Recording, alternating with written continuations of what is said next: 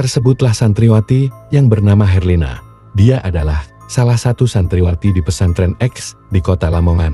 Dia anaknya cantik dan ramah. Herlina merasa tidak pernah dihiraukan di pesantren itu, suatu hari demi mendapatkan perhatian, dia mencuri batu cincin akik dari seorang kiai mengajar di pesantren itu.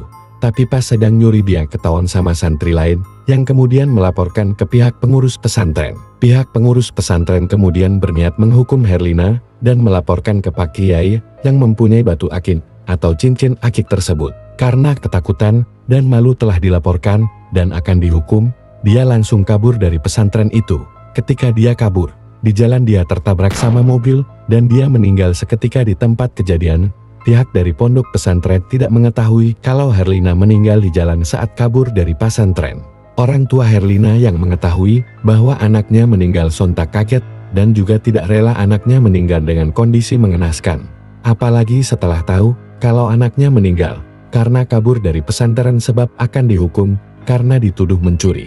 Orang tua Herlina kemudian nekat pergi ke dukun ilmu hitam yang konon bisa menghidupkan arwah yang sudah meninggal. Karena diliputi rasa kecewa dan marah terhadap pihak pesantren, orang tua Herlina meminta dukun tersebut untuk menghidupkan kembali arwah Herlina yang telah meninggal untuk membalas dendam. Akhirnya jasad Herlina hidup kembali diisi dengan arwah hantu penasaran, dan sang dukun meminta satu syarat, yaitu setiap malam Jumat Kliwon Herlina harus minum darah Herlina menjadi semacam hantu pengisap darah. Kalau tidak dia akan meninggal lagi, Herlina pun akhirnya hidup kembali, dan dia kembali ke pesantren tempat dia mondok, dengan tujuan menuntut balas ke pihak pesantren. Karena pihak pesantren tidak mengetahui kalau Herlina sudah tewas, menerima dia lagi dengan catatan meminta maaf, dan mau dihukum. Waktu di bilik kamar santri di pesantren, teman-teman Herlina pada heran melihat Herlina yang begitu aneh tingkah lakunya berbeda, sebelum dia kabur. Wajahnya pucat pasi, dan dia lebih sering diam tidak seperti biasanya. Teman-teman Herlina pun merasa aneh lagi. Ketika Herlina membawa koper yang isinya berbau busuk, teman-teman Herlina curiga kalau Herlina menyimpan sesuatu berbau busuk di koper, teman-temannya pun ngecek isi di dalam koper tersebut waktu Herlina tidak ada, dan teman-teman Herlina kaget waktu melihat koper tersebut, isinya darah yang berbau busuk. Teman-teman Herlina pun memilih diam, karena takut. Ketika tengah malam, Herlina meminta petugas atau pengurus pesantren mengantarkan dia ke kamar mandi, karena dia takut ke kamar mandi sendirian, dan petugas pesantren pun mau mengantarkan Herlina ke kamar mandi. Akan tetapi, sudah dua jam lebih Herlina di kamar mandi tersebut. Pengurus pesantren sudah memanggil-manggil Herlina berkali-kali tapi Herlina tidak menyatnya.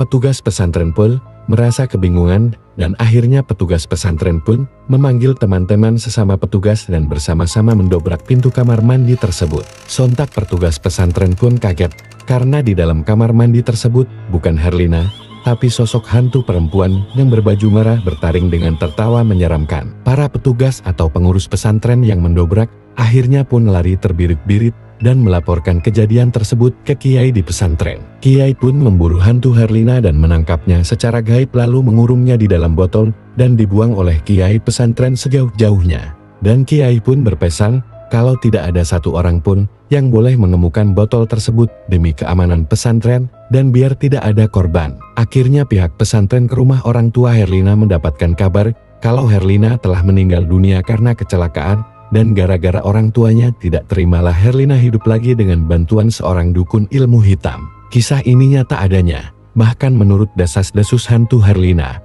telah memakan korban pihak pengurus dan santri di pesantren tersebut. Tapi ada beberapa versi kejadian awalnya. Tapi dari berbagai versi cerita tersebut ada kesamaannya semua, yaitu kematian Herlina yang mati tertabrak saat dia masih berstatus jadi santriwati.